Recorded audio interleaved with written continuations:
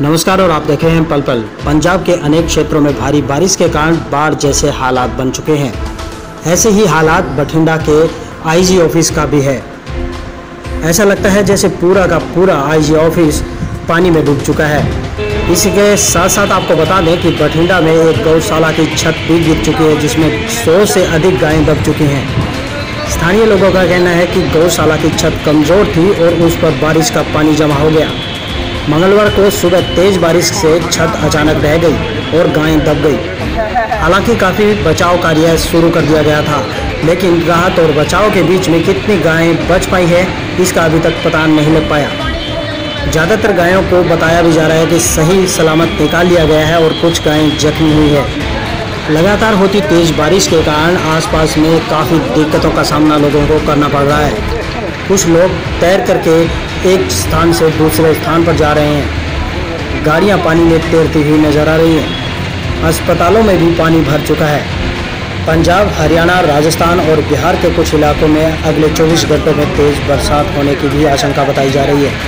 सरकार ने कई जगह पर हाई अलर्ट जारी कर दिया है, ताकि अगर बाढ़ जैसी स्थिति बन जाती है तो बचाव कार्यों में तेज़ी लाई जा सके। आप इन कुछ वायरल वीडियो में देख सकते हैं कि बठिंडा के इस आसपास के क्षेत्र में किस तरह से पानी बरसात का भर गया है। अगले 24 घंटों में ये पानी और भी बढ़ने की आशंका है। आप देख रहे हैं पल की एक खास रिपोर्ट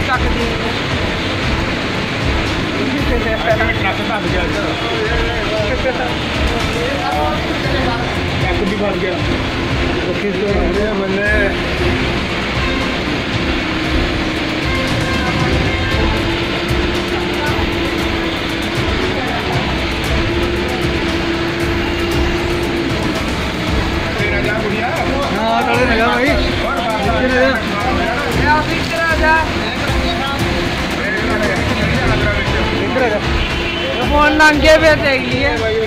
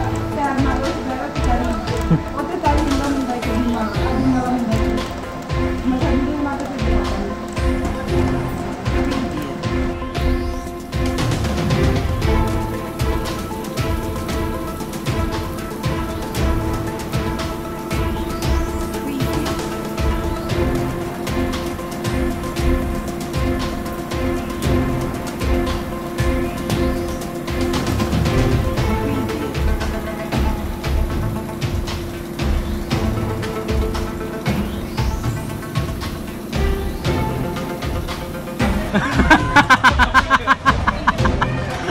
ha ha!